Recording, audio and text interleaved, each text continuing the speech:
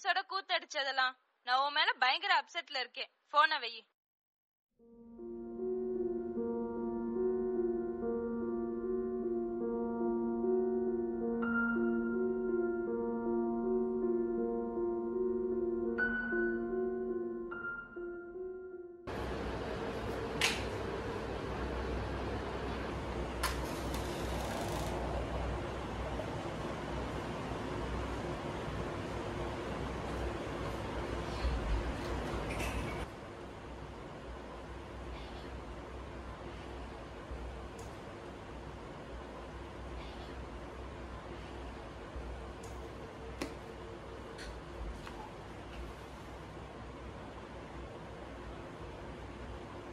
கார்முகிலாய் இந்த கோதை வாழ்வில் காதல் மழை பொழிந்தவனே இரவென நீ இருப்பதால் நிலவென நான் ஜொலிக்கிறேன்.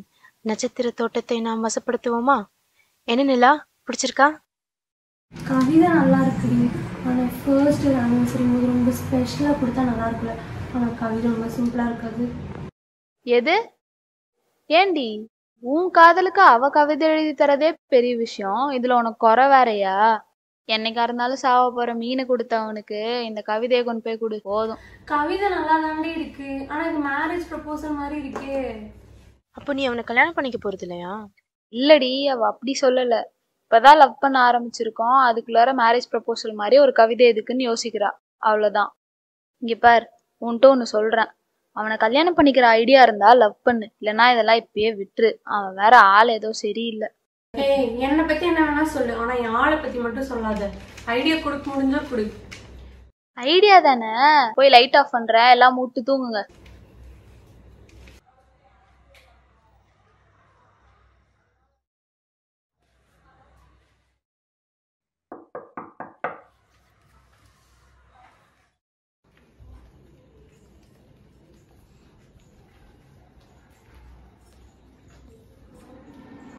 என்னாச்சு?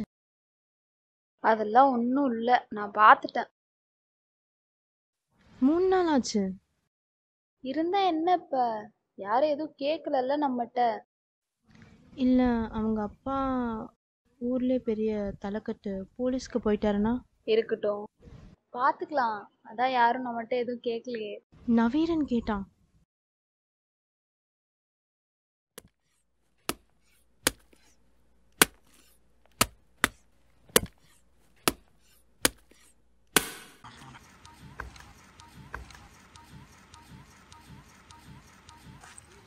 என்னாச்சு நவீரன் இப்போ ஏன் இப்படி நடுவில் வந்து நின்றுட்டு இருக்க கடலி உனக்கு என்னாச்சு? இதை ஏன் பற்றி நீ பேச வேணாம்.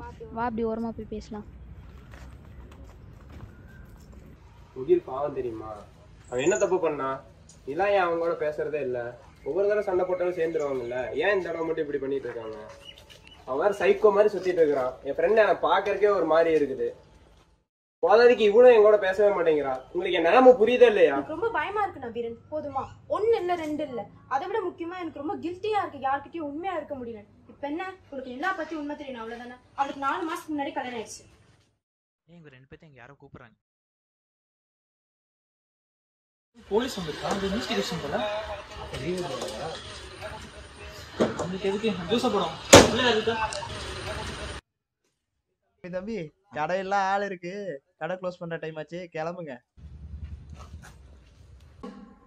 வேலூர் அருகே உள்ள தனியார் கல்லூரியில் பயின்று வரும் மாணவி நிலா. இவரை கடந்த நான்கு நாட்களாக காணவில்லை. இது குறித்து போலீசார் தீவிர விசாரணையில் ஈடுபட்டு வருகின்றனர். இச்செய்தி அப்பகுதியினரிடம் பெரும் பரபரப்பை ஏற்படுத்தியுள்ளது.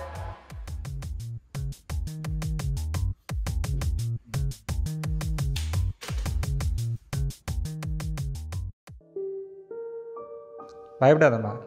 நான் ஏன் உன்னை முதல்ல கூப்பிட்டேன்னா நீ நிலாவோட ரூம்மேட் ஆல்சோ நீ சொந்த ஊருக்காரங்க. ஸோ நீங்கள் ஒன்றா ட்ராவல் பண்ணிட்டுருப்பீங்க நிலாவை பற்றி உனக்கு நிறைய தெரிஞ்சிருக்கும். ஸோ நீ உண்மையை சொன்னீங்கன்னா எங்களுக்கு நிலாவை கண்டுபிடிக்கிறது ஈஸியாக இருக்கும். சரிங்க சார் நான் சொல்லிடுறேன். நிலாவும் நானும் தான் ஃபஸ்ட்டு ரூம்மேட்ஸாக இருந்தோம்.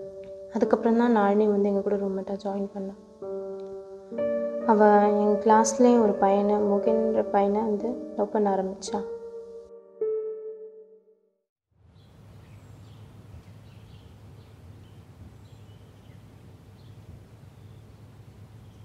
ம். கவிதை ரொம்ப நல்லா இருக்கு. உன்கிட்ட ஒரு உண்மையை சொல்லவா? அந்த கவிதையை நான் எழுதவே இல்லை. கனலி தான் எழுதணும். கனலியை கட்டிக்க போகிற ரொம்ப கொடுத்து வச்சிருக்கணும்ல ஏன்? உனக்கு என்ன குறைச்சல்? எனக்கு அந்த மாதிரி டேலண்ட்லாம் இல்லை. பேசவே யோசிப்பேன். ஆனால் ஏன் என் மேலே இவ்வளோ love? ஏன் அப்படி நினைக்கிற? என்ன பண்ணுறது என் குடும்ப சூழ்நிலை அப்படி.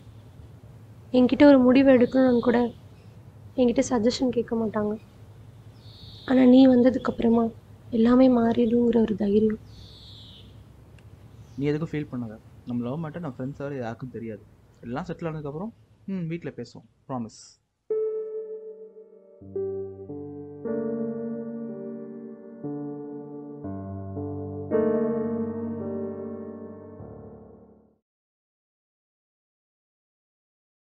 சரி ஓகே கிளம்பு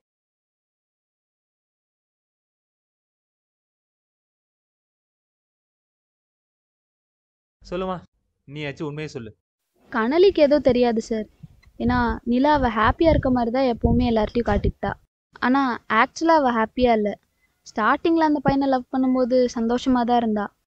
ஆனால் போக போக ஏன்டா இந்த லவ்வை பண்ணோன்ற மாதிரி ஆயிட்டா. இப்போ என்ன பிரச்சனை? நான் எது பண்ணாலும் தப்பு அதானே? முன்ன மாதிரிலாம் நீ இல்லை. ரொம்பவே மாறிட்ட. இதை பண்ணாதா அதை பண்ணாதுன்ட்டு. உன்னை சொன்னா கோச்சிக்க மாட்டீங்களே. நீலாம் லவ்வர் கிடையாது. சரியான பொண்ணு வெய் போன ஃபர்ஸ்ட்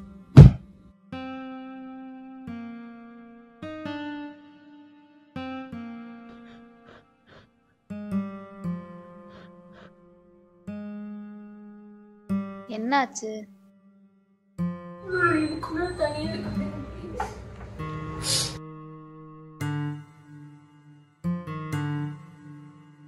என்னதான் ஆச்சு? சொல்லு.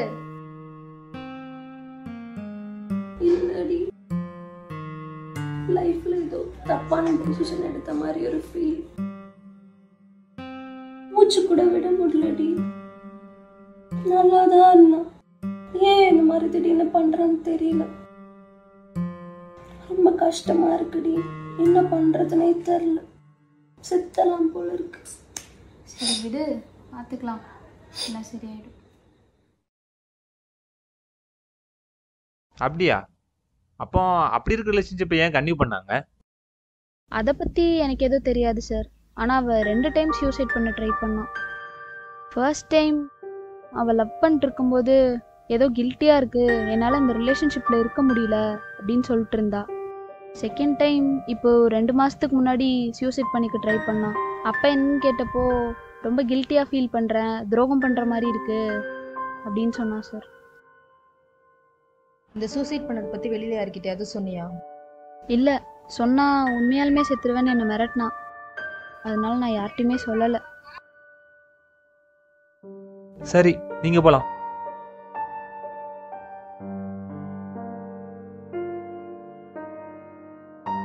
இது உங்ககிட்ட சொல்லாமான்னு தெரில பட் இருந்தாலும் நான் சொல்கிறேன் நாலு மாதத்துக்கு முன்னாடி அவள் கல்யாணம் பண்ணிட்டு வந்துட்டா. வேற? வேற எதுவும் தெரியாது சார். அதை பற்றி அவள் எதுவும் சொல்லலை.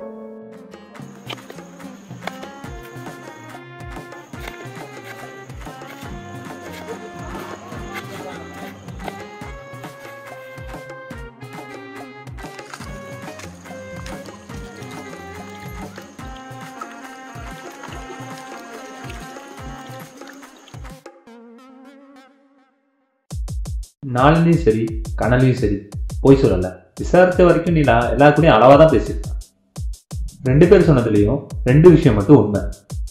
ஒன்று முகிலோட அவளுக்கு இருந்த லவ் இன்னொன்று அந்த கல்யாணம். ஏன் ஒருத்தன் லவ் பண்ணிட்டு இன்னொருத்தனை கல்யாணம் பண்ண இதுல ஒருத்தருக்கு மட்டும் தெரிஞ்ச சூசைட் ஆச்சு ஏன்? இதெல்லாம் முகிலோட கண்ட்ரோலிங் நேச்சர்னாலயா இல்ல இந்த கல்யாணமே உண்மைதானா? இல்ல முகில் கிட்ட இருந்து எஸ்கேப் ஆக யூஸ் பண்ண பிளானா இதுல எது உண்மை?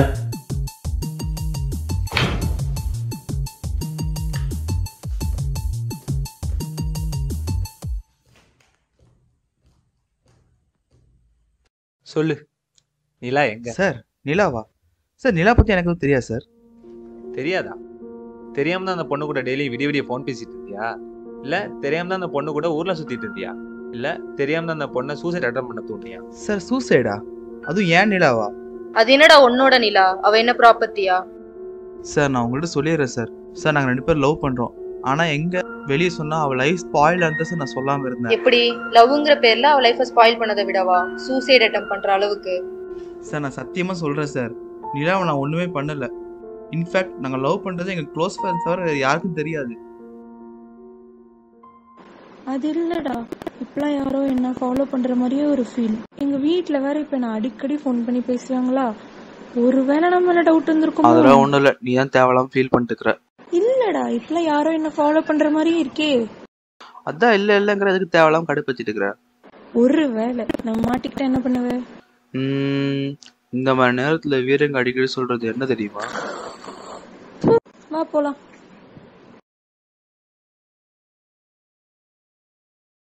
அப்படி என்ன சீக்கிரட்டான லவ் அதான் அந்த பொண்ணு வேற ஒரு பையனை கல்யாணம் பண்ணிச்சா? சார் அதெல்லாம் கண்டிப்பாக இருக்காது சார். அவன் என்னைக்கும் எனக்கு துரோகம் பண்ண மாட்டா. உங்கள்கிட்ட யாரும் நல்லா பொய் சொல்லியிருக்கான் சார். அதெல்லாம் நம்பாதீங்க. சரி நீ போ.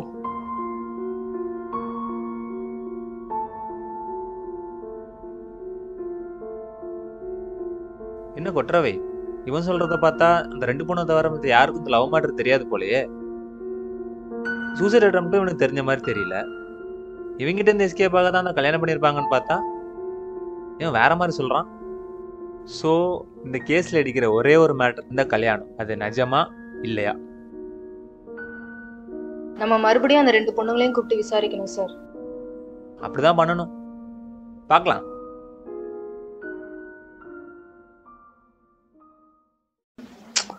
யாரோ நாங்கள் லவ் பண்ணுற மேட்டர் அவர்கிட்ட சொல்லியிருக்காங்கடா. இதெல்லாம் தெரிஞ்ச பிரச்சனை அவனு தெரிஞ்சே சொல்லியிருக்கிறானுங்க. அது மட்டும் இல்லாம அவளை சூசைட் வேற பண்ணிக்க தூண்டிட்டனா.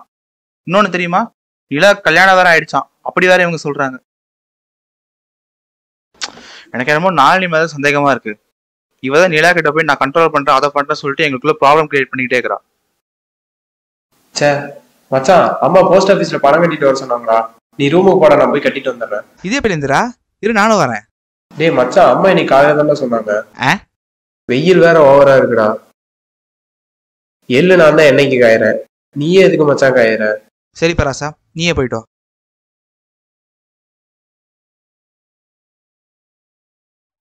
ம் உண்மையை சொல்லுங்க. நிலா எங்க? நீங்க தான் அந்த பொண்ணை ஏதோ பண்ணிருக்கீங்க சொல்லுங்க. நாங்க என்ன பண்ணோம்? எங்களுக்கு எதுவும் தெரியாது. நிலா எங்களோட ஃப்ரெண்ட் சார் என்ன சார் இதெல்லாம்? நான் தான் உங்ககிட்ட அன்னைக்கே எல்லா உண்மையும் சொல்லிட்டேன்ல. அப்புறம் ஏன் சார் எங்களை கூப்பிட்டு வச்சு இன்வெஸ்டிகேட் பண்ணிட்டு இருக்கீங்க அப்புறம்? இந்த கல்யாண மேட்ரு அவங்க ரெண்டு பேருக்கு மட்டும்தான் தெரிஞ்சிருக்கு. அவங்க அம்மா கூட இந்த கம்ப்ளைண்ட்ல மென்ஷன் பண்ணல. அப்புறம்? இந்த கல்யாணம் உண்மையா இல்லையா? சார் நாங்க பொய் சொல்லல. இன்ஃபேக்ட் நாங்க ஒரு டைம் அமுதன் அண்ணாட்ட பேசியிருக்கோம். நாங்க அவ்வளோ க்ளோஸ்லாம் இல்ல. ஒரு நாள் திடீர்னு நாங்க கால் பண்ணாங்க. அது ஜஸ்ட் ஃபார்மலாக கால் பண்ணி இன்ட்ரடியூஸ் பண்ணா சார். அப்போ பேசினப்போ அவசரத்தில் கல்யாணம் ஆயிடுச்சு கூப்பிட முடியல. சாரின்னு சொன்னாங்க. அவ்வளோதான் சார். சரி அப்போ அமுதனுக்கு கால் பண்ணுங்க. அவன் இல்லாட்ட என்ன பேசுறான்னு எனக்கு தெரிஞ்சே ஆகணும். அவன் நாளைக்கே இங்கே வரணும்.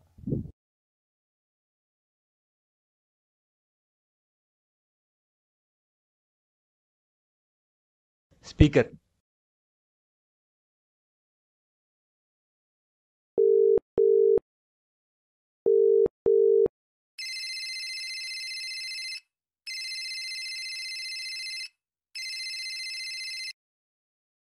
ஹலோ அண்ணா ஃப்ரீயா?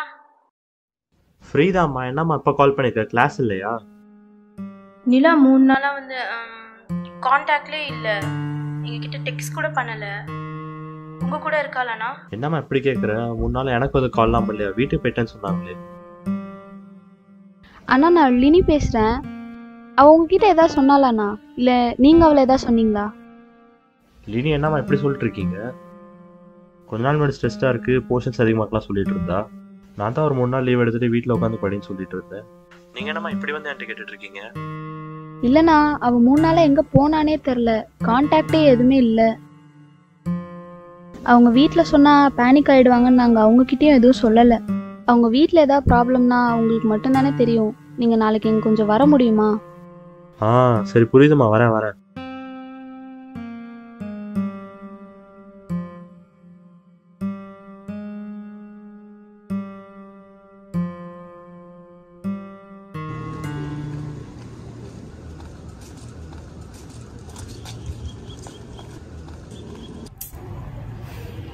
ஆல்ரெடி இருக்க பிரச்சனையில நீ வேற நடுவில் ஏன் விட நிமிஷம் பண்ற. சாரி நிலி கனகிட்ட மட்டும் கொஞ்சம் பேசணும்.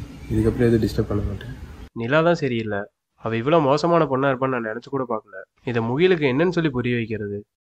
ஒருத்தனை லவ் பண்ணிட்டு அப்புறம் இன்னொருத்தனை கல்யாணம் பண்ணோம் ச்சே இந்த பொண்ணுங்களே இப்படிதான். போதும் நவீரன் நிலாவை பத்தி தப்பா பேசாத. எங்க நான் உன்கிட்ட பேசணும்? உண்மையெல்லாம் சொல்லணும்னு பயத்துல தான் உன்னை அவாய்ட் பண்ணேன். அதான் சொல்லிட்டேன்ல எனக்கு கில்ட்டியா இருக்குன்னு. அப்பயே சும்மா சும்மா டிஸ்டர்ப் பண்ணிக்கிட்டே இருக்க? கனலே கில்ட்டு கில்ட்னா எனக்கு மட்டும் கில்ட்டா இருக்காதா? உனக்கு எப்படி நிலவோ அந்த மாதிரி தானே எனக்கு முகிலு. ச்சே. இப்பவாவது உண்மையை சொல்ல. நிலா வீட்ல இந்த விஷயம் தெரிஞ்சு பெரிய பிரச்சனை ஆயிடுச்சு ஐயோ இது தெரியாம நிலா வேற தப்பா பேசிட்டேனே. ஒரு வார்த்தை சொல்லியிருந்தா நம்மளாச்சும் ஏதாவது பண்ணியிருக்கலாம்ல. அவ எங்ககிட்ட கூட ஒரு வார்த்தை கூட சொல்லல அவ. வீட்ல கட்டாயப்படுத்தி கல்யாணம் பண்ணி வச்சுட்டாங்க. சரி இன்னொன்னு என்ன? என்ன இல்ல அன்னைக்கு ஒரு விஷயம் இல்ல ரெண்டு விஷயத்த நினைச்சு கில்ட்டா இருக்குன்னு சொன்னேன்ல. இன்னொன்னு என்ன?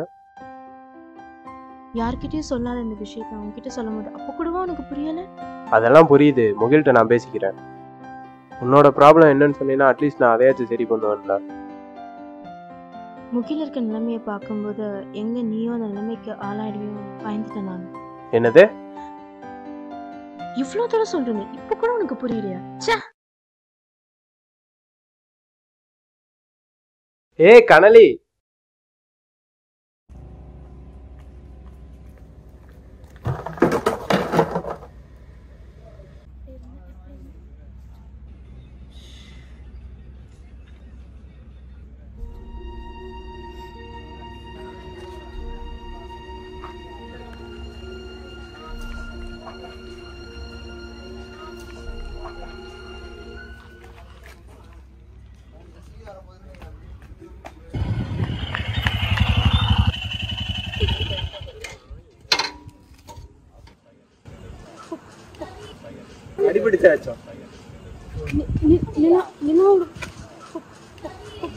நிதானமா சொல்லுங்க என்னாச்சு? நிலாவோட பொருள் அங்க பாரு. நிலாவோட வாங்க என்னன்னு பார்க்கலாம் வாங்க. சொல்லுங்க. என்ன வேணும் இந்த கடையை நீங்க தானே பாக்குறீங்க உங்க கடை தானே? ஆமா சார் நான் தான் பாத்துக்கிறேன் எங்க தான். உங்களோட குப்பை தொட்டியில இறந்து போன பொண்ணோட செயின் ஐடி கார்டுலாம் இருக்கு. அப்படியா சார்? நாலு பேர் வந்து போறாங்க சார். யார் வராங்க யார் போறாங்கன்னு பார்த்துட்டு இருக்க முடியும். ஆமா. நம்ம கடை வியாபாரத்தை தானே பார்க்க முடியும். நாலு பேர் வந்துட்டு போற இடம் சரி கடையை அப்ப நானும் பாக்குறேன். எனக்கு இருக்க போது கடைக்குள்ள வியாபாரம் பண்ணி தான் சார் வச்சிருக்கேன்.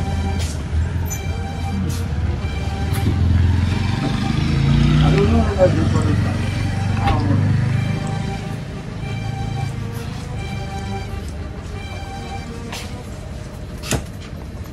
அது ஒன்றும் இல்லை சார். ஐஸ் பாக்ஸ் தான். இல்லை ஐஸ் தான் இருக்கு வேற ஒன்றும் இருக்காது. சரி நான் பாக்குறேன்.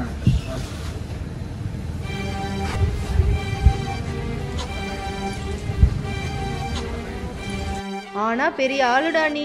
உன் சைஸ் என்ன நீ பண்ண வேலை என்ன? சொல்றா. எதுக்கு அந்த பொண்ணை கொலை பண்ண? எதுக்கு கொலை பண்ண? கேள்வி தப்பு சார் எப்படி கொலை பண்ணணும்னு வேணா கேளுங்க. எவ்வளவு கொடூரமா கொலை பண்ணிருக்க சின்ன பொண்ணுடா. இருபது வயசு பொண்ணுன்னு கூட பார்க்காம துண்டு துண்டா வெட்டி சிமெண்ட்ல பேக் பண்ணி வச்சிருக்க. போதா குறைக்கு ஐஸ் பெட்டியில வேற மறைச்சு வச்சிருக்க. படிச்சவன் படிச்சவன் தான்யா எப்படிங்க இப்படி கரெக்டா சொல்றீங்க? சொல்றா எதுக்கு கொலை பண்ண? செய்ய சொன்னவங்களை விட்டுட்டு செஞ்சவனை கேட்டுட்டு இருக்கீங்க செய்ய சொன்னாங்க செஞ்சேன். அப்போ யாரு? இவன் தான் சார் அமுதன் நிலாவோட ஹஸ்பண்ட் எடுங்க மேடம் கையை. நான் என் சொந்தக்கார பொண்ணை பார்க்க வந்து என்ன பிடிச்சிட்டு வந்தீங்க ஏன் நடிக்கிற? மாட்டிக்கிட்டோம்னா? உட்காரு. சொல்லு நிலாவை ஏன் கொலை பண்ண? கொலையா? நான் பண்ணனா? வந்த அப்புறம் தான் சார் எனக்கு விஷயமே தெரியும். நீ தானே நிலாவோட ஹஸ்பண்ட் உனக்கு தெரியாதா? ஐயோ அது ஒரு கட்டாய கல்யாணங்க. வேற வழி இல்லாம பண்ணோம். அப்படி பண்ணலன்னா அவங்க அம்மா அப்பா சூசைட் பண்ணிக்கன்னு மிரட்டினாங்க. அப்போ அந்த சூசைட் அட்டம்ப்ட் டார்ச்சர் பண்ணியா? சூசைட் அட்டம்ப்டா டார்ச்சரா நான் பண்ணனா? நான் சென்னையில வேலை பார்த்துட்டு இருக்கேன். படிக்கிற பண்ணல ஸ்பாயில் ஆடக்கூடாது நான் தான் ஹாஸ்டல்லே தங்கி படி இஷ்டம் போல இருன்னு சொன்னேன். நான் எதுவும் ஃபோர்ஸ் பண்ண மாட்டேன்னு சொன்னேன். இப்பதானே சார் சொன்னேன். செய்ய சொன்னவங்களை விட்டுட்டு இவனை பிடிச்சி உட்கார வச்சுட்டு இருக்கீங்க. இவனே ஒரு லூசு பையன். கூடிகார ஒரு பொண்ணோட உயிரை பத்தி பேசிட்டு இருக்கேன். நீ என்ன விளாட்டு பண்ணிட்டு இருக்கியா? சொல்றா யாரா பண்ண சொன்னா? மேலூர் மாணவி காணாமல் போன வழக்கில் திடீர் திருப்பமாக அவரது பெற்றோரே அவரை கொலை செய்ததும் தங்கள் மீது சந்தேகம் வராமல் இருக்க தாங்களே புகார் அளித்ததும் போலீஸ் விசாரணையில் தெரிய வந்துள்ளது. ஏன்? எப்படி சொந்த பொண்ணை கொள்ள உங்களுக்கு மனசு வருது? பின்ன சும்மாவா சார்? அவ இது வரைக்கும் இது வேணும் அது வேணும்னு கேட்டது கூட இல்ல. கேட்கறதுக்குள்ளேயே எல்லாம் அவகிட்ட இருக்கும். அவ எங்க வீட்டு ராணி சார் அவ கால் கூட தரையில படக்கூடாதுன்னு அவளை கார்லயே கூட்டிட்டு போயிட்டு வரும். ஒரே பொண்ணு மேல மொத்த பாசத்தையும் கொட்டி வளர்த்துட்டோம் சார் ச்சே தருதல. இப்படி பண்ணிட்டா. இவ்வளவு ஆசையா வளர்த்த பிள்ளைய காதல்னு சொல்லி எவனா மயக்கினா பெத்த மனசு சும்மா இருக்குமா? இது வரைக்கும் பார்த்து பார்த்து பண்ண எங்களுக்கு தெரியாதா? அவளுக்கு யார் சரியா இருக்கும்னு? அது சரி. நீங்க ஆசைப்பட்டீங்க தானே அவ ஆசைப்பட்ட வாழ்க்கையை விட்டா? அப்பயும் கொலை பண்ணீங்க? எது சார் ஆசை? எவனோ ஒருத்தனை லவ் பண்ணுவேன்பா நாங்க ஒத்துக்கணுமா? அவன் நல்லவனா? என்ன இன்டென்ஷன்ல லவ் பண்றான்? சரி அத கூட விடுங்க சார் பின்னாடி இந்த சாதி சனோ சொந்தம் பந்தம் எல்லாம் வேணும்ல? அதான் கல்யாணம் பண்ணி வச்சேன் மாறிடுவான்னு நினைச்சேன். அப்படி இருந்தும் காலேஜ் போறான்னு தெரிய வருது. குழந்தையும் ஆகல. சொந்தக்காரங்களாம் சந்தேகப்பட ஆரம்பிச்சிட்டாங்க. ஏதோ தொடர்பு இருக்கும்னு. குடும்ப கௌரவமும் போயிட்ட பிறகு எதுக்கு அந்த மாதிரி ஒரு பொண்ணு வேணும்? அதான் நானே கொண்டுட்டேன்.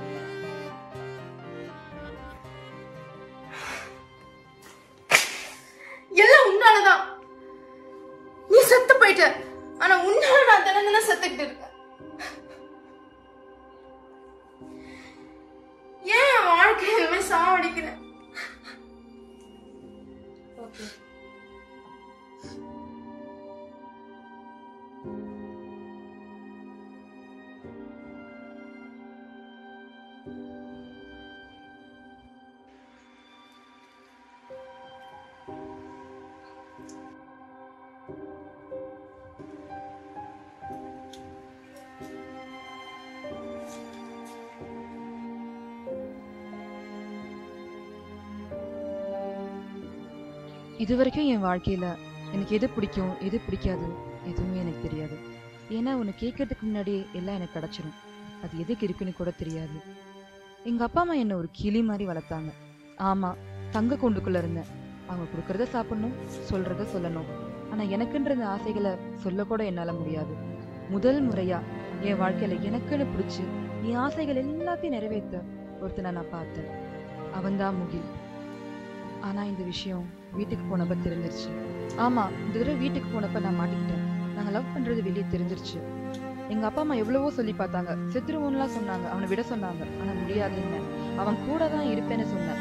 ஆனால் சாதி குடும்ப கௌரவம் அப்படின்னு சொல்லி அவனையே கொண்டுடுவோன்னு சொல்லி ரொம்ப மிரட்டினாங்க. உண்மையான சந்தோஷத்தை எனக்கு அவன் கொடுத்தான். பதிலுக்கு என்னால் அவன் உயிரை மட்டும்தான் காப்பாற்ற முடிஞ்சது. Love is not about getting it's all about giving I'm sorry Mukil என்னால் அவன் உயிரை மட்டும் காப்பாற்ற முடிஞ்சது